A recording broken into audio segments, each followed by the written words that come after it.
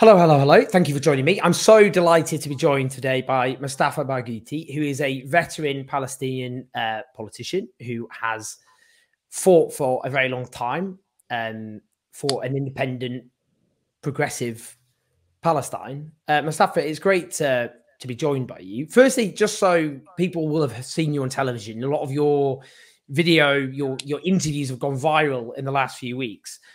But just so people are aware, you actually represent an alternative to both Hamas, which is dominant in obviously runs Gaza, and also Fatah, which is dominant in the West Bank. So, can you just explain that to people so they understand? Well, I uh, am a, I am one of the founders, and I'm leading now the Palestinian National Initiative, which is the youngest Palestinian political party in terms of age. It's 20 years old and it was initiated by a number of people uh, like uh, the well-known intellectual Edward Said and uh, uh Haider Abdel Shafi, who used to be the head of the Palestinian negotiating team in Madrid, and uh, and many other political leaders who thought that uh, Palestine needs a third alternative, that this polarization between Hamas and Fatah is not healthy and there needs there are there is a substantial amount of people who want to to to have a different vision and a, a different view from what the authority represents, which is Fatah in this case, and uh, and Hamas.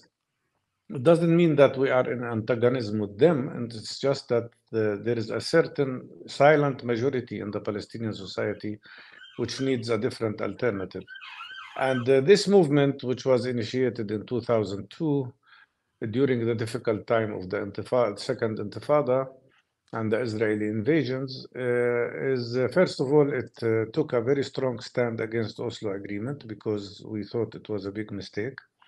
Second, it's uh, it has a program that includes three aspects. One is freedom, of course, from Israeli occupation and the system of apartheid. Second, it's uh, the need for a democratic internal system uh, where we have pluralism, where we have separation of powers, where we have people's participation, and of course, elections. But third, it's a strong uh, movement on the issue of social justice, women's rights, uh, the rights of uh, poor people, how to fight poverty, the rights of workers, the, the rights of women.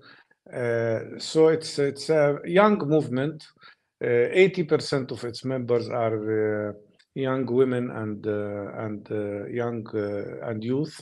And uh, we've just had our Congress in, uh, on the 17th of January this year, which uh, also elected a rather young leadership with very substantial amount of women in leadership positions. So it represents a different kind, a different approach but it's very uh, much also a, a, movement that tried to unify Palestinians, calling for unified leadership and also unity through democracy, if I may so, say so. Before we ask you about the wider context, because there's been a deliberate attempt by those defending Israel's onslaught to start the clock on what happened on the 7th of October, can I just ask you, in terms of what's happened in Gaza over the last couple of days, and obviously the the Israel cutting off communications, a vicious onslaught. Just your thoughts on the humanitarian catastrophe that has now enveloped Gaza as a consequence of Israel's onslaught? It is very sad to watch what's happening in Gaza because you are talking about a mighty Israeli army which is allocating almost 450,000 soldiers with the most sophisticated weapons in the world all the American jet fighters and the most sophisticated tanks and a huge intelligence system against uh, basically civilian population of 2.3 million people who live in a very small area that is no more than 140 square miles. As a matter of fact, it's much less than that because Israel has imposed a security zone within Gaza and around Gaza of 25% and, and so it's very small area with the highly with the most densely populated area in the world. And they're using all this huge military arsenal uh, bombarding the place with with airstrikes with artillery with tanks and uh, conducting basically three war crimes. The first war crime is genocide through this terrible bombardment. Uh, to give your audience an idea, the amount of explosives that have been thrown on Gaza the last 21 days is equal to the uh, to the to the power of the nuclear bomb that was thrown on Hiroshima during the Second World War. Uh, unbelievable destruction. Uh, basically, 50% of all houses in Gaza have already been destroyed partially or completely. Many institutions, hospitals, universities, uh, 56 uh, health clinics and health centers have been destroyed. Uh, 25 ambulances have been hit. Uh, we lost already 110 of our health workers during these strikes. 24 journalists were also killed. But the total number of people killed has already exceeded 8,000 civilians, uh, including no less than 3,200 children. And what breaks my heart is that uh, almost 1,500 people are still under the rubble, probably including 700 children whom, who cannot be taken out from that place because of the continuous bombardment. But the other war crime that is happening is the collective punishment against the 2.3 million people, depriving them from water, electricity, uh, medical supplies, fuel, and oxygen bottles that are very much needed in hospitals. Mm. Uh, the need of Gaza is uh, about uh, 500 trucks of supplies every month, every day. And uh, given that we haven't had anything for 22 days, actually Gaza needs now 1,100 trucks. All that Israel allowed to pass is 84 trucks only. And they do not allow a single drop of fuel to go into Gaza. Mm. The result of that is just beyond belief. You're talking, for instance, uh, 120 children could die in incubators because there is no electricity in the hospitals. More than 1,100 people need kidney dialysis and they can die at any moment, including 34 children. Uh, we are now anticipating the spread of ep epidemics in Gaza, uh, waterborne, disease, waterborne diseases because of the destruction of sewage system, etc and uh, we're expecting uh, a very serious amount of hepatitis, maybe measles, because vaccination is uh, has stopped completely for 22 days, and more even serious diseases like cholera. but the third the third process that Israel is doing is ethnic cleansing. I mean, they have tried to push all of the people of Gaza to Egypt, but Egypt stood, took a very strong stand against that, and people refused to leave because 70% of the people in Gaza are already refugees who have been ethnically cleansed by Israel in 1948, and, and, and they don't want to be refugees again. But the result is bombardment and bombardment. and Israel, today, Netanyahu in his press conference said, all people in the north and middle of Gaza should go to the south, but he's bombarding the south as well. So there is no safe place anywhere in Gaza. It's a total humanitarian disaster. And now, what you mentioned, the last step is to cut off all forms of telecommunications and internet.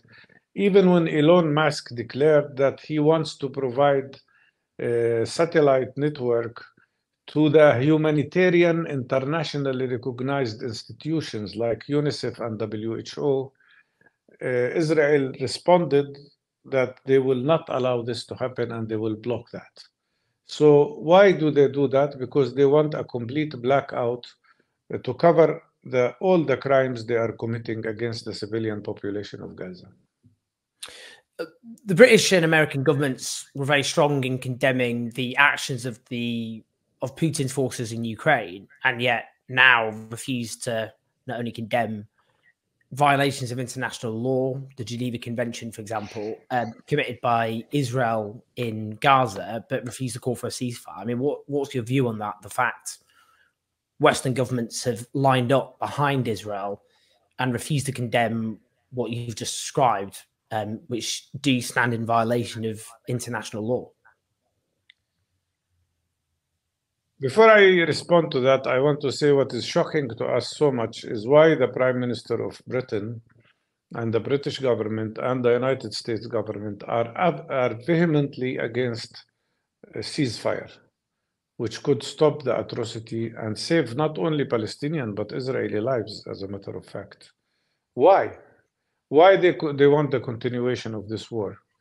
And of course, uh, the Western government's position regarding the situation in Ukraine and, and Palestine is a very clear example of the double standard.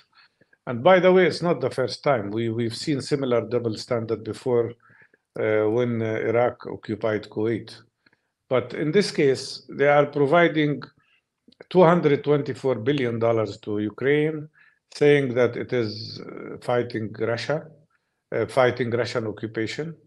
But in our case, they are providing all the military support, including sending aircrafts and aircraft carriers to the Mediterranean to support Israel by supporting the occupier, not the occupied. So in one case, they say that they are supporting somebody who fights occupation, and in another case, they are supporting the occupier who is occupying us, the Palestinians, since 56 years, and who has ethnically cleansed 70% of the Palestinian population in, uh, 75 years ago. So the double standard here is absolutely clear. And uh, what is more even shocking is to see a person like Zelensky supporting Israel and supporting occupation. I mean, that sends a message that there is no international law and no international standard here, that this is the law of jungle. Whoever mm. has power can do whatever they want. Um, for those who've defended what the onslaught committed unleashed by Israel, they would say, look, Israel was attacked on the 7th of October, atrocities, terrible atrocities were committed by Hamas. This is self defense. How do you respond to, to that general argument? Well, you know my position. I'm a person who advocates nonviolence all my life, and I am against killing any civilian, whether Israeli or Palestinian. But history did not start on the 7th of October, and uh, Guterres was very correct, the General Secretary of the United Nations, when he said that this did not come from a vacuum. It happened because there is 56 years of occupation, oppression. 40 years ago, there, Hamas did not exist, as a matter of fact. And at that time, PLO was classified as a terrorist organization. As a matter of fact, not only Hamas is classified as a terrorist group in the American Congress, but also the PLO that uh, Mr. Biden is meeting the president of. So it's the, the problem here is that this happened because of occupation, apartheid, ethnic cleansing of Palestinian people. It was a response. And, and then Israel responded. Okay, they responded. Fine. Uh, already 8,000 people are killed and uh, more than 3,000 children. So, so why to continue? How many more children they have to kill?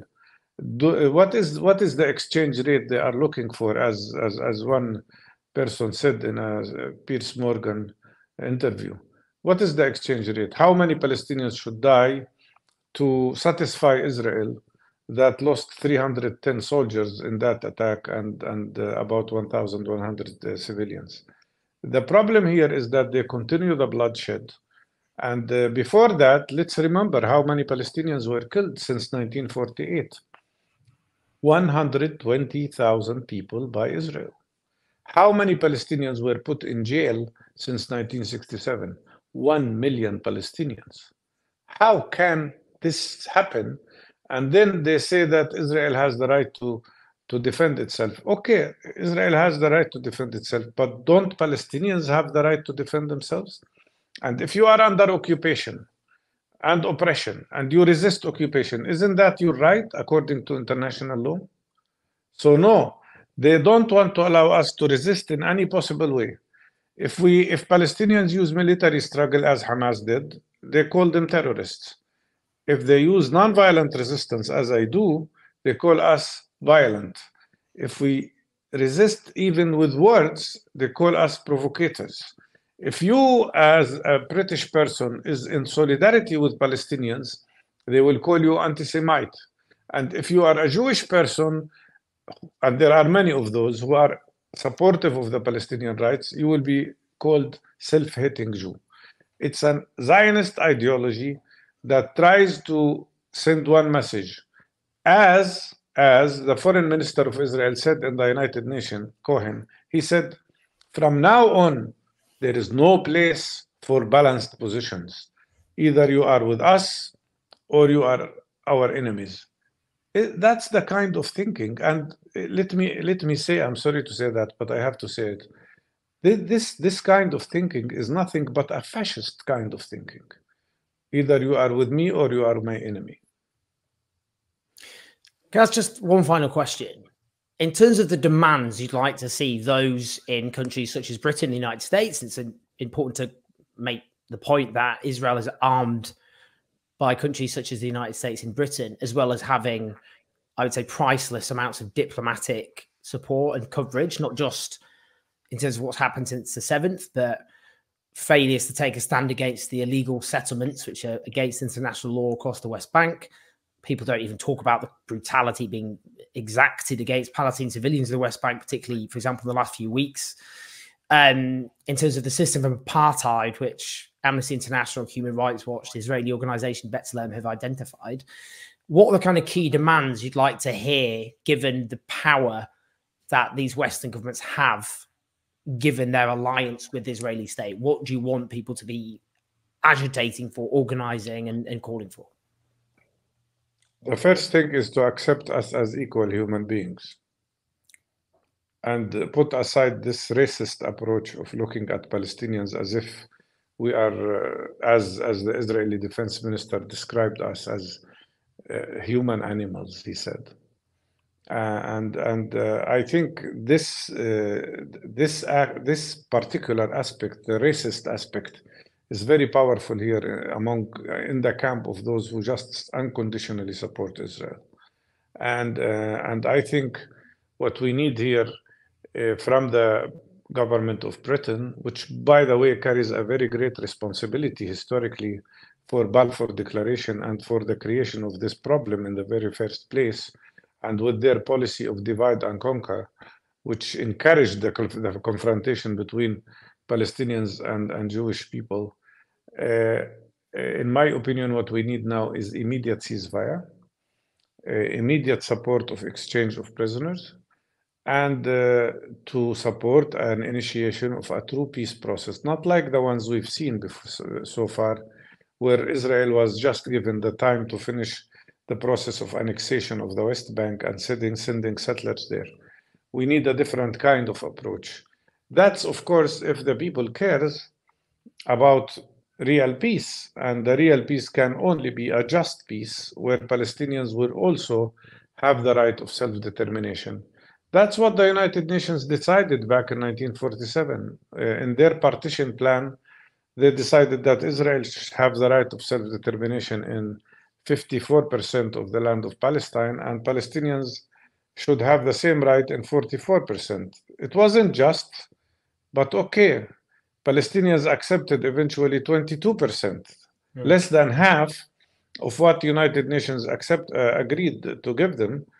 And now Israel says not even 5% or 2% or 1%. No place, as Netanyahu says, for a Palestinian state. We will not stop struggling, and that's a message I want to convey. We're suffering, we're losing people, but nothing will break us, and nothing will stop our struggle for freedom and for dignity and for our rights. Mustafa, it's a real honor to have you so eloquently, I think, present a case which has been systematically trashed in Western political discourse, which is about the right of the Palestinian people to national self determination, the racist language, and the essentially the level of dehumanization that Palestinians are not even treated as remotely as equal human beings in this so-called debate or discussion. It's so important that you made that point. So thank you so so much. Please like and subscribe. Thank you, thank you so much, dear Mustafa. Thank you so much. Thank you for the opportunity. Thank you.